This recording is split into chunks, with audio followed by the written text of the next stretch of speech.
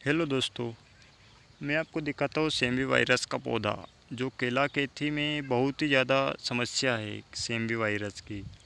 अगस्त, सितंबर और अक्टूबर महीने में यह बहुत ज़्यादा इसका प्रकोप रहता है पौधों पे, जो पूरी तरह से नष्ट कर देता है पूरे प्लाट को। अगर किसान भाई अगर सही समय पे सतर्क नहीं हुए तो। किसान भाई देख सकते हैं पौधा आप सेमी वायरस का, ये इस प्रकार। और भी मैं आपको आगे ऐसे पौधे दिखाता हूँ। एक एकड़ का प्लाट है जिसमें लगभग तीस से चालीस पौधे अब नज़र आ रहे हैं सेम बी वायरस के। और भी मैं आपको आगे दिखा तो देख सकते हो किसान भाई। इस तरीके के पत्ते निकाल रहा है।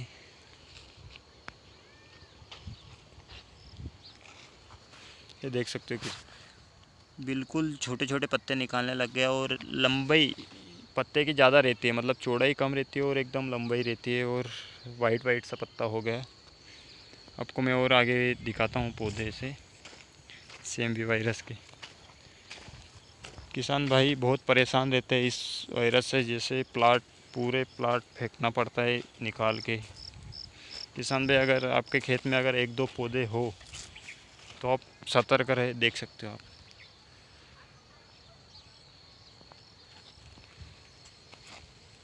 यह पौधा सी वायरस से ग्रसित और भी मैं आपको दिखा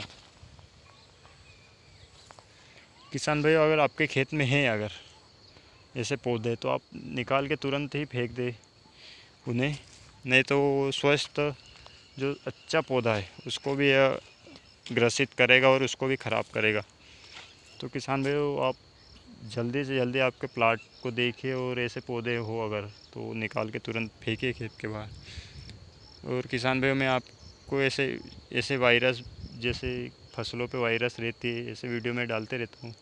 तो आप चैनल को लाइक कीजिए सब्सक्राइब कीजिए और अगले वीडियो को देखने के लिए बेल आइकन ज़रूर दबाइए और ऐसी सरल जानकारियाँ खेती संबंधित, जैविक खेती संबंधित आपको मिलती रहेगी। आपका बहुत बहुत धन्यवाद।